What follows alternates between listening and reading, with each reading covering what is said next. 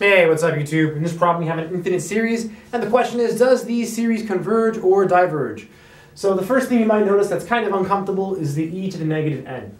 So when I first see this problem, I'm thinking we need to fix that. That's too hard to think about. So one idea is to multiply by 1 in a very, very clever way. And this idea comes from integration, right? A lot of times when you have to integrate things like 1 over 1 plus e to the negative x, what you would do in a problem like this is you would multiply by e to the x over e to the x. And that would allow you to make a substitution.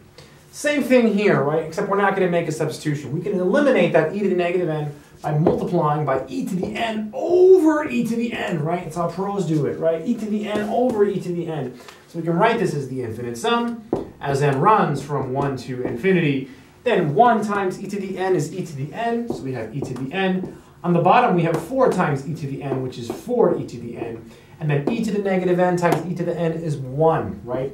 e to the negative n times e to the n is 1 because they cancel, right? You can also add the exponents. Negative n plus n is 0, so you just get e to the 0, which is 1. And now, and now we can use the most important, or the most useful, or maybe not the most useful, the test that you typically use first, which is called the nth term test. The nth term test says if you take the limit, as n approaches infinity of a sub n, and it's not equal to zero, then the series diverges, right? If it's equal to zero, the test will fail. So in this case, this is our a sub n. So all we have to do is take this limit. So we have the limit as n approaches infinity of e to the n over 4 e to the n plus 1. So e to the n and 4 e to the n plus 1 pretty much grow at the same rate, right? So they're both uh, exponentials with base e. So in this case, the answer is going to be the ratio of the leading coefficients. So it's 1 over 4, 1 over 4.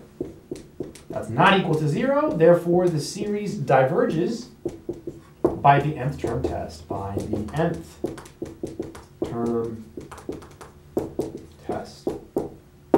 That's it. Thanks for visiting my channel.